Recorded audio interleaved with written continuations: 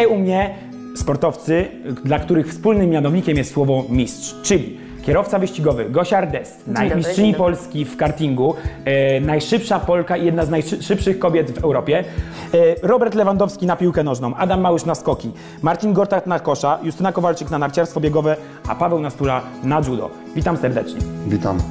Dzień dobry. dobry. Moi kochani, powiedzcie mi tak. Przede wszystkim do Gosi najpierw pytanie. E, Gosia, jak ty jeździsz autem na co dzień? Szybko, wolno? Dobrze. Dobrze? Na pewno dobrze. Wiesz co, no staram się nie szybko. Wiadomo, no różne są sytuacje. I na drodze, no i wiadomo, kierowcą wyścigowym jest się, e, no zawsze jest się przez cały czas 24 godziny na dobę, ale jednak staram się na drodze zachowywać ten zdrowy rozsądek, e, jeździć ostrożnie, bezpiecznie, no bo, no tak, mam świadomość, co może złego się stać, ale mam też świadomość, że może fakt, że ja umiem jeździć, nie świadczy o tym, że, że ktoś też umie. Mhm. Także staram się jednak, no, Okej, to teraz wspólne też pytanie. Dlaczego ten sport? Czyli dlaczego ty zaczęłaś jeździć autem w ogóle? A zaraz pana Pawła na stule spytam, dlaczego zaczął trenować judo w latach, kiedy tak naprawdę najbardziej popularna była wtedy piłka nożna. Nie, nieprawda. Nieprawda? Nie. Sporty walki były popularne. Oczywiście piłka, piłka e, była i jest zawsze popularna u nas i szczególnie teraz, tak, e, kiedy odnosimy takie, takie sukcesy. Natomiast kiedyś, kiedyś ten sport był. Oczywiście nie, nie, nie było takiego, mm, e, takich możliwości jak teraz, e, ale był i dlatego, dlatego A dlaczego judo akurat? Dlaczego judo, tak? Na piłkę nożną też chodziłem na hutnik, ale po trzech miesiącach, kiedy e, zła- złamałem gościowiną, to, to Celowo czy niecelowo? nie no, była e, soluwa tak zwana, Aha, tak? soluwa.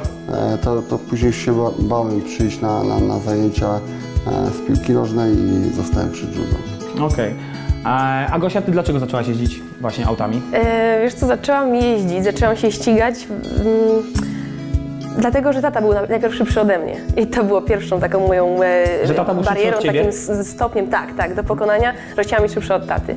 Tata zabrał mnie na go-karty, przejechałam się, no i w zasadzie no, od pierwszego okrążenia poczułam, że, że to jest to. No wtedy wiadomo, to nie było tak, że wsiadam i od razu wow, Gosia, objawienie niesamowicie szybka. Nie, to były naprawdę treningi ciężkiej, ciężkiej pracy i na hali kartingowej, później e, dorzucenie treningów jeszcze wytrzymałościowych, siłowych. No i tak, także Mhm. właśnie dlatego, bo, bo poczułam to, że to jest to i że bez tego sobie życia nie wyobrażam. No tak. A nawiązując do poprzedniej odpowiedzi pana Pawła na stuli, e, proszę mi powiedzieć, czyli był pan, lubił pan solówy? Często się bił w Często. młodości? To właśnie przez, i dlatego sporty walki właśnie. Chciałem też jeździć, ale, ale i być e, też szybki, ale wtedy w tamtych czasach nie, było takich możliwości. Nie było tak, no wtedy co były? Duże Fiaty? Małe? Fiaty, Małe Fiaty, duże Fiaty. Tak, I tak. głównie to, syrenki ewentualnie jeszcze, nie? No ale to już większy wypas. No, to, to. Mhm. A właśnie, a jeszcze przed tym jak się zaczęła kariera e, sportowa, no bo kiedy tak naprawdę zaczął pan zarabiać na sporcie? Zarabiać? Zarabiać. Ojej, taki Bo nawiązuje, no, nawiązuje do pytania, chciałem się zapytać, y, z czego żył wcześniej Paweł Nastula? Przed sportem. Czym się zajmował?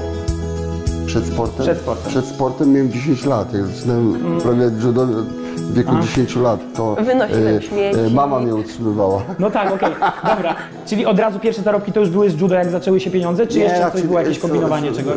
Słuchajcie, kiedyś były inne czasy, tak? Kiedyś, e, no tak jak, no, nie było takich możliwości jak teraz. Ja e, e, zacząłem trenować judo nie, nie dlatego, żeby zarabiać jakieś tam pieniądze, tak? Tylko dlatego, że mi się ta dyscyplina podobała. Myślę, że tutaj tak samo, tak? To nie, to, to nie było takiej kalkulacji, że... Trenuję, żeby zarabiać. Trenuję, żeby zarabiać. Mhm. Ta klasa, ta klasa oczywiście w którymś momencie przyszła, tak? Ale, ale myślę, że, że zaczyna, za, przynajmniej ja, ale uważam, że tutaj koleżanka tak samo, zaczęła tą dyscyplinę uprawiać, bo, bo jej się to strasznie podobało, tak? Bo, bo się wciągnęła, tak? I tak samo w moim przypadku. Natomiast e, kiedy ja zacząłem zarabiać, no, pierwsze moje zarobione pieniądze to były kontrabanda tak zwana, czyli, czyli e, przemyt tam ka, e, ka, kawioru, kryształy, no to pierwsze wyjazdy za granicę, Sz, Szwecja, e, Francja, no to, to, to To ile pan miał lat wtedy mniej więcej? no 16, 16. 16, 17, to były zawsze, braliśmy dwie torby, tak? Jedna torba to był sprzęt, a druga torba to był e, Na e, tak, e, towar na, na handel, tak? I przed zawodami staraliśmy się szybko sprzedać towar, tak? E, No a później oczywiście e, no, były, były zawody, ale, ale wtedy były dobre, dobre czasy, że rzeczywiście, jeżeli fajnie, fajnie się to nam poukładało, to, to e, na takim wyjeździe można było sporo zarobić, tak?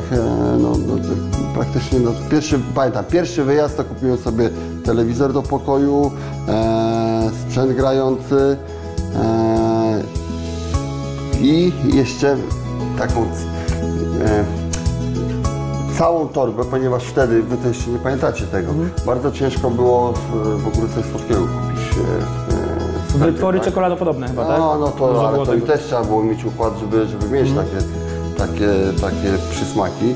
E, pamiętam mój pierwszy wyjazd do NRD, kupiłem całą torbę słodyczy, te miśki, miśki, tak, przyjechałem do domu, ja mam starszą siostrę, 4 lata, e, zawoła, zawołałem, Kasia chodź tutaj, coś Ci pokażę i tak wysypałem na, na łóżko.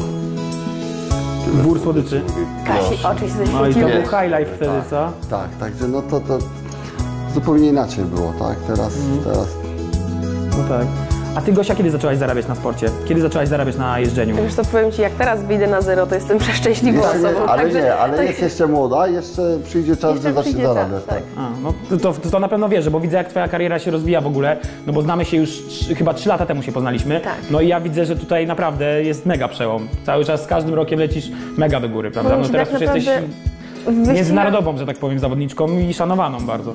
Tak, bardzo się cieszę, dziękuję. Za te ciepłe słowa. Wiesz co, w wyścigach jest e, generalnie na polskim rynku ciężko o, o jakiekolwiek finansowanie, jakiekolwiek wsparcie e, ze strony potencjalnych sponsorów czy partnerów biznesowych, także tak naprawdę mm, no, zaczęłam stosunkowo późno moją przygodę z, z motoryzacją, z wyścigami, miałam 16 lat, a pierwsze sponsorskie, takie poważniejsze umowy, no to było no nie aż tak dawno temu, teraz mam 24, czyli 4, 5, 5 lat temu tak naprawdę.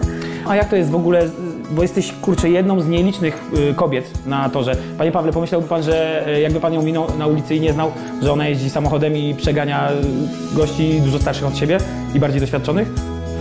Taka filigranowa Musiał, blondynka? musiałbym mieć trochę czasu, żeby przeanalizować. Przeanalizować. Tak, tak.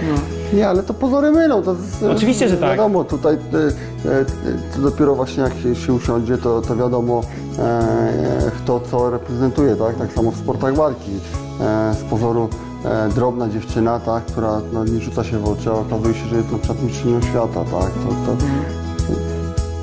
A co, jak, jak cię traktują w ogóle faceci tam na tym torze? Powiem Ci tak, na Nie samym patrzą, na, początku... na początku nie było takiej pogardy. Przeklinają, przeklinają. Tak, teraz się, że przeklinają. No, Znaczy, na, na samym początku, y, zwłaszcza kiedy, kiedy był ten karting, tutaj to nasze na, na polskim podwórku kartingowym, to spotykałam się, może nie od strony zawodników, nic tam negatywnego nie było, ale rodzice e, chłopaków jakieś tam Podrywali cię chłopcy tam nie, nie, nie, wręcz przeciwnie, że Gosia, po co ci to, jak to, co ty, przecież to męski sport, gdzie wyślę pracę, tego, mówię, no, no jestem tutaj, no jakby podjęłam, podjęłam się tego, pierwszy krok już poczyniłam, chcę to robić, chcę pracować, mam świadomość, jakby ile od siebie będę musiała włożyć, ale no, no, no, no chcę tego, także to było takie, no, A jak się zepsuje, to, to potrafisz naprawić samochód?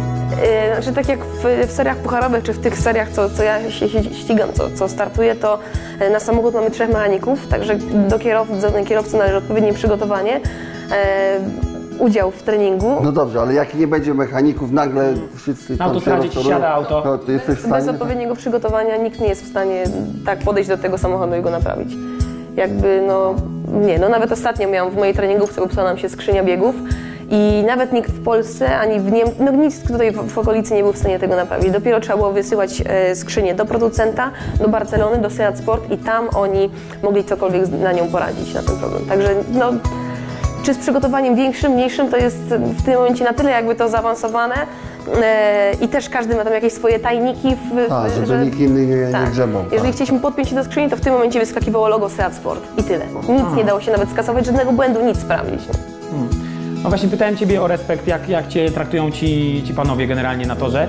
A teraz się spytam, y, Panie Pawle, 4 lata był Pan niepokonany w judo, 90, między 94 a 98, dobrze mówię, prawda? Y, No to właśnie y, to, to mnie ciekawi, jak wtedy Pana odbierali ludzie, bo czuł Pan, że już jest gwiazdą mega w tym judo, prawda? Nie, nigdy Nie? nie, czułem się gwiazdą.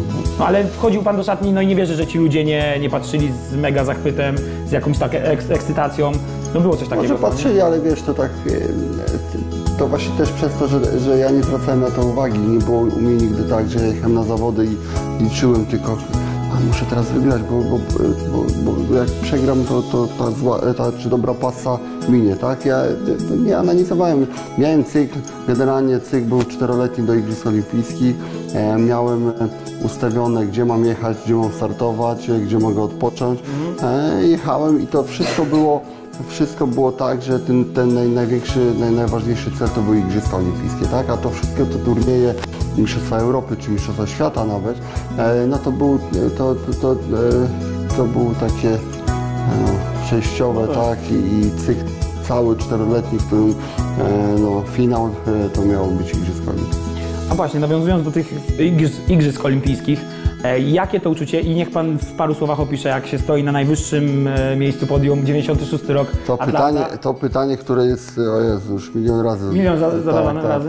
Nie, to nie jesteś w stanie tego to, tak nie da się słowami tego powiedzieć. opisać. Nie, to trzeba to przeżyć. No, to, to, znaczy jest e, ogromne wzruszenie. E, ja pamiętam, że e, na podium, czy później już e, na drugi dzień, to dopiero to tak dochodziło. Ale, No, adren, taki strzał adrenaliny, że to człowiek nie ogarnie. coś. nie, to w ogóle, wiesz, no przychodzą, klepią cię, tak, no fajnie, wygrałem, tak, ale, ale tak sobie nie, e, nie, nie, nie wyobrażasz sobie, nie wyobrażałem sobie, jak, jak, że to rzeczywiście ogromny Że to się wynik, stało tak, że to się stało. w skali tego sukcesu, tak. prawda? Dopiero, dopiero jak wróciłem do Polski, jak e, mnie przywitali na, na Okęciu, e, jak nie mogłem poruszać się po ulicy, e, e, w sensie no, przejść No tak, spokojnie, wszyscy tak, zdjęcia i gdzie tak- pojechaliśmy na wczasy, e, tak samo nie mogłem przejść e, spokojnie ulicą, bo mnie wszyscy zaczepiali, chcieli zdjęcia, autografy. To wtedy dopiero to zaczęło docierać, że rzeczywiście, kurczę, co ja właśnie. zrobiłem? No właśnie, co pan narobił? Moment powrotu do kraju pan pamięta na lotnisku? Tak, tak. Stał tłum tak. ludzi? Tłum, tak, Tłum. tłum, tłum. No to pewnie Tłum, tym bardziej, że to akurat w moim przypadku to było tak. Jakbym miał srebrny czy brązowy, to porażka, tak? To, to w ogóle by, e, no, mówili, kurczę, co ten nastolatk zrobił, tak? Także no, ja jechałem tam rzeczywiście z taką dosyć, e, no, dużą presją. E, No ale przez to, że to mnie w ogóle nie, nie, nie, przejmowałem się tym, nie, nie analizowałem jak, dlaczego to ja muszę teraz wygrać, bo, bo jak nie, to e, ja wiedziałem tylko, że e, jestem dobrze przygotowany, to samo właśnie e, e, teraz musi być, tak, u młodych, tak, jeżeli dobrze przepracujesz cały okres treningowy, BPS, e, jedziesz na zawody, no to cóż, no, no można przegrać, tak, bo to jest sport, tak, ale, ale ty się wewnę, wewnętrznie czujesz, że ja jestem w tej formie i musi się naprawdę jakieś nieszczęście stać, żebym ja przegrał. No tak. A właśnie, jak to jest teraz szkolić młodych? Bo teraz pan szkoli młodych, prawda? Tak, I, tak. I widzi pan jakiegoś następcę? Albo jakiegoś człowieka, który może coś zdobyć w tym sporcie jeszcze? No, Na taką skalę jak pan? Jest, jest, jest możliwe. No, natomiast to jest daleka droga i to, to jeszcze e, dużo Tu będzie. głównie, prawda? Tak. W głowie. W sportach walki tak, no głowa to jest, to jest naprawdę bardzo dużo, no bo to... A miał pan jakieś przygotowanie mentalne, takie do Tak, miałem, tak.